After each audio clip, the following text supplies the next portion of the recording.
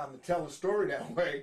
We to get amnesia of the money that was put out, yeah. how the game has really worked and things of that nature. You know, yeah, but that's because they want to make the Caucasian yeah. happy. You understand? Whatever that the news media come up with, all those Caucasians that yeah. uh, against a powerful black man in this country. Sure. They don't want that. See, Don King was the most powerful boxing promoter yes, in the world yes, yes. for numerous of years. And they don't want a black man with that power. It's the same thing like with Obama now. Yeah, President Obama. You know same thing. With, with all the crisis that George Bush left oh my God. this yeah. country in. Yes, yes. They, uh, they forgot all about forgot that. It's Obama's yes. fault. Right. Everything come up, it's Obama's fault.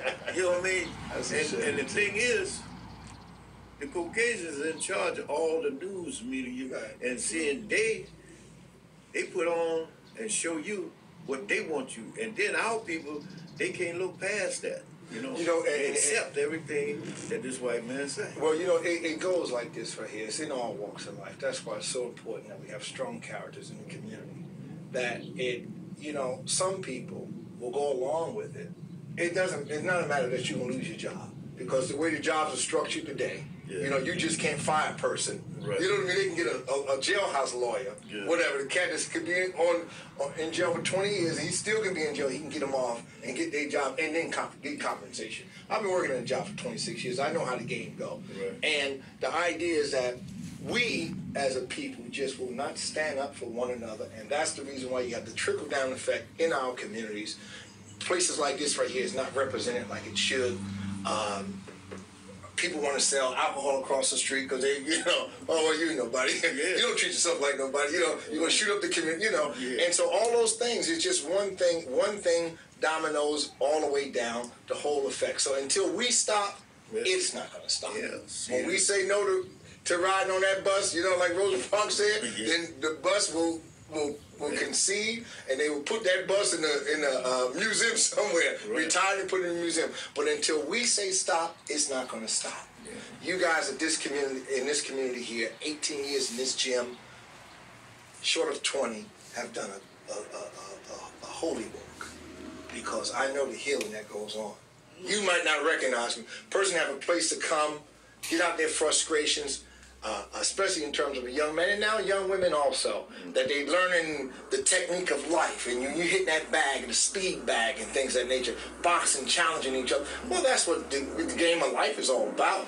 You know, it's about challenging, you know what I mean? And then when you look at the, the, the, expense of the in terms of the young people that's going to school, minorities that's going to going to college for business. Mm. Well, you better take in some boxing because that's what business is all about. You know what I mean? What makes me feel so proud is when I observe grown men coming in, you know, like they 30, 40 years old. Sure. Now, and my wife had started working with them when they was kids, right. like 13, 14, 15 years old. And they come in from all over now and looking for Miss Kelly. Sure. Miss Kelly, Miss Kelly. You understand? That's the reward that make me uh, proud. Sure. You understand? Because sure, sure. they they uh, knew what my wife thought of them and how that she she looked out and nurtured them. Sure, you sure. Know, all those years, you know, and and and that's basically what our young kids need today. Sure. They need someone to give them value time. That's See, true. most of the adults, they're afraid of our kids today. Sure. But the only reason our kids like that is because they they calling out for help. Sure. And the the thing they need is a adult to have valuable time to be with them, to teach them, to nurture them. You understand? And that's what my wife has well, done. You know what I, I often say in sermons, uh, uh, uh, Mustafa, is that if the children are mentally on the corner, uh, the young people on the corner, the older people are too. Mm-hmm. If the men is crazy, then the women are too. Mm-hmm. So when we recognize that we're just one, right. so when we recognize we're one, see, I've been in them places where you scan your eyes and look for someone that even have a speck of you in them. I've been in these places. I've been in different circles. I've been around the world. I know the game. Yeah. So the idea is that if one is crazy, the other's crazy. Right. When we recognize that we are one human family, right. then we can lift ourselves up. So all right. So the fight is um, uh, December 11th. uh, 2009 at 7 p.m. Yeah, Robert Treat. Robert Robert Treat Treat. Hotel. And you're talking about 18 fighters. Many? 18 matches. 18 matches. 18 matches. And that the, the name is the North Against the South. Okay. Friday night amateur boxing explosion. And, now this will give birth. Those that's, that now how, how does this work in terms of going their their walk towards the Golden Gloves? And and do you guys know when the Golden Gloves is? Well, the Golden Gloves uh, normally is uh, February and March. Okay. Six weeks of every year. But fights in between, like the gold, like the uh, uh, diamond gloves and all that kind of thing, are independent shows. It helps, you know, keep uh, a young man sharp. You know, it helps him to evaluate himself Okay. as to his weaknesses or his strengths Oh, as okay. he's pursuing uh, the the ladder. Okay. And they also had the silver gloves, you know, for the junior, for the junior. Now when, when is the Silver Gloves? Well, we hoping it'll be like December the fifth. You know. So before y'all before y'all match. Yes. And then those will those kids, those young people come over to y'all match or If it's yeah, uh, if there's some if good it's ones, yeah. if it's that if it's good ones, that, you know, we always try to pick, uh, pick out the best juniors. You understand to be on our card to make it uh, very interesting bout. Uh, But on the other hand, if, if that fight isn't until 13th, then that kind of puts a damper yeah, that that on us because then they don't want to take a chance of their fighter getting hurt. oh right on the eleventh. Okay, of course, of course, because it's only two days away. Yeah, plus, like I think uh, the winner of the the, uh, the uh, silver gloves go to the national. That, Yes. Yeah, so that's why that that's a that's that's a priority with other individual bouts. Okay, now will you guys ever host the Golden Gloves here in Newark? Will that ever? I- Yes. Well, let me say this to you about the Golden Gloves. The Golden Gloves is institution. Has been for 40, 50 years, Sure. I dare say. The real question is, who runs the Golden Gloves? Sure.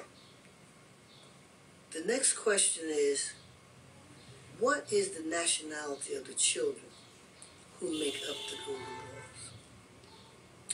The next important question is, what do the children get out of it, Okay. as opposed to the people who have the franchise? Okay, I see. see what you And I submit to you, the people who have the franchise, they get the Cadillacs or the limousines or the vans, etc. Where our children who have made this possible Sure. get two dollar ninety nine cent trinkets. Right. Don't even get a new pair of sneakers. Okay. You see, Okay. and that's a shame. Sure. Sure. That's a shame. Uh, because our children are being used as stepping stones. You see, it's one thing to stand on a man's shoulder, but it's another to step on his shoulder. Sure. Sure. You see. Sure. And my problem with it has always been that uh, the black men who are the trainers, Sure. They're not really protecting these children because this thing is being perpetuated, you see, time after time after time, year after year after year Sure. after year. And that's, again, goes back to your original question what's wrong with us? Yes. Why don't we love each other? Sure. Why don't we respect each other? Sure. You see? Uh, and until we do, there's always going to be that overriding problem. And it is, you know, it's not just in, in the boxing world. On, on every street corner now, you see these bodegas. I said, what the heck is a bodega? We used to have mom and pop Sure. Sure. on every corner. In fact, your, your grandparents, I think, used to have a store on Prince Street. That's right. You Yes. see, and had a laundry on Yes. Prince Street. Mhm. Now all that's been been uh, taken away with uh, people who don't look like us. Yes. You see, and and the interesting. Not that I have anything against them doing that, but the thing that bothers me is we can't go to their neighborhood and do the same Can't thing. do nothing. Better not even stop. Better not even go. Better not there. even stop. Yeah. Yeah. So so so what are we saying? then? Yes. We're saying that. Um, Also, your This is Democracy Now!, democracynow.org, the Quarantine Report. I'm Amy Goodman. The FBI and New York police departments are facing new calls to finally open their records related to the assassination of Malcolm X, shot dead 56 years ago at the Audubon Ballroom in Harlem, February 21, 1965. This comes after the release of a deathbed confession of a former undercover New York police officer who admitted to being part of a broad New York police and FBI conspiracy targeting Malcolm. In the confession, the former officer, Raymond Wood, who died last year, admitted he entrapped two members of Malcolm's security team in another crime, a plot to blow up the Statue of Liberty, just days before the assassination. On Saturday, Ray Wood's cousin Reggie Wood read the letter at a news conference at the Shabazz Center in Harlem.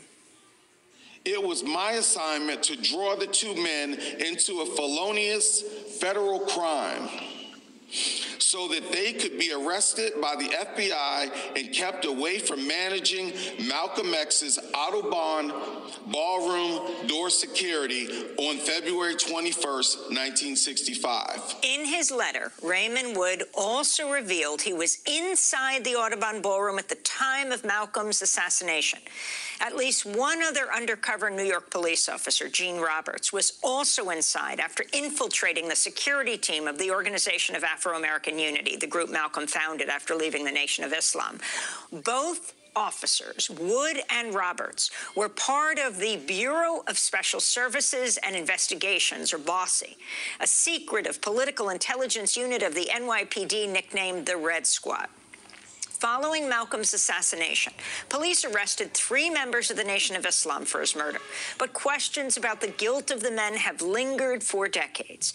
In his letter, Raymond Wood openly says one of the men, Thomas Johnson, was innocent and was arrested to, quote, protect my cover and the secrets of the FBI and the NYPD, unquote. Ray Wood's letter echoes claims in recent books by Manning Marable and Les Payne that some of Malcolm's actual assassins were never charged. In a moment, we'll be joined by Raymond Wood's cousin Reggie Wood, who released his deathbed confession. But first, I want to turn to the words of Malcolm X himself speaking after his home in Queens was firebombed just a week before his assassination, February 14th, 1965. My house was bombed. It was bombed by the black Muslim movement upon the orders of Elijah Muhammad. Now, they had come around to, they had planned to do it from the front and the back so that I couldn't get out. They had, they, they covered the front completely, the front door. Then they had come to the back, but instead of getting in directly in the back of the house and throwing it this way, they stood at a 45 degree angle and tossed it at the window so it, it glanced and went onto the ground. And it, the fire hit the window and it woke up my second oldest baby. Uh, and then it, but the fire burned on the outside of the house. But had that fire, had that one gone through that window, it would have fallen on a six-year-old girl, a four-year-old girl, and a two-year-old girl. And I'm going to tell you, if it had done it, I'd taken my rifle and gone after anybody in sight. I would not wait. Cause, and, the, and I say that because of this. The police know the criminal operation of the black Muslim movement because they have thoroughly infiltrated it because they have thoroughly infiltrated it. Those are the words of Malcolm X right before his assassination, right after his home was firebombed in February of 1965. Uh, just days later, he was shot seconds after he took the stage at the Audubon Ballroom. We're joined now by Reggie Wood, the cousin of Raymond Wood, author of the new book, The Ray Wood Story Confessions of a Black NYPD Cop and the Assassination of Malcolm X. Still with us, civil rights attorney Ben Crump, who attended that news conference uh, with. Uh, um, Reggie Wood at the Audubon Ballroom, now the Shabazz Center, where Malcolm X was assassinated 56 years ago. Um, Reggie, thank you so much for joining us. You read parts of the letter um, this weekend. Talk about your cousin, um, Ray Wood, and what you understand happened, the conspiracy he alleges that he was a part of by the FBI and the New York Police Department to assassinate Malcolm X. Good morning. Thank you for having me. Um, Ray was was a complicated man. Uh, I think, be based on uh, his past experiences he, he, he lived with a lot of uh, fear and caution on a daily basis, which he instilled in me over the past 10 years. But uh, Ray was a person that lived as a he, lived he lived as a as a very quiet and and reserved person because of what he had experienced. He, he witnessed some horrible things firsthand, and also realized that he was a part of it after the fact. And so, therefore, um, Ray was told by his handlers that not to repeat anything that he had seen or heard, or he would uh, join Malcolm. Therefore, for 46 years, Ray separated himself from the family and um, in fear that he would put us in danger. Uh, Ray lived alone many years, and he um, finally, in his final years, uh, when he realized that he was uh, his cancer was uh, reoccurring, he wanted to reconnect with family because he didn't want to die alone. So uh, I volunteered to uh, move him to Florida so that my wife and I could take care of him and get him back and forth to his